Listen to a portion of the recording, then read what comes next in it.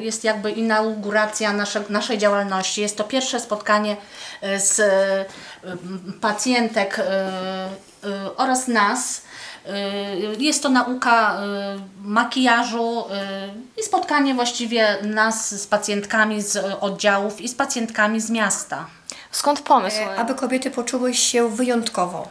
Mimo choroby, mimo tego cierpienia, mimo, mimo radioterapii, chemioterapii, wypadania włosów, e, brwi, rzęs, żeby poczuły się naprawdę bardzo wyjątkowo. Makijaż naprawdę poprawia samopoczucie kobiety, no bo kobiety takie są. Wszystko, co do tej pory robimy, to mówimy o tym, że to jest dla nas terapia nie, nieograniczona.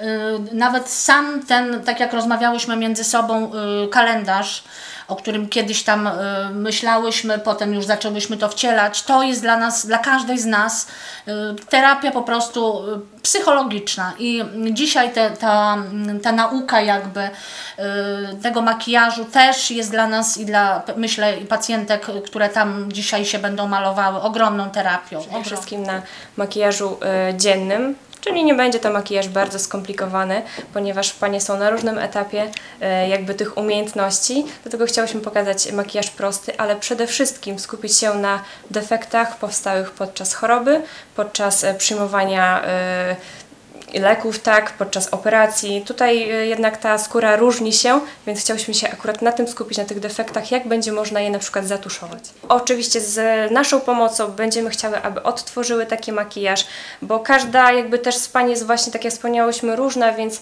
tutaj trzeba będzie też e, Panie nakierunkować na, na niektóre e, jakby aspekty.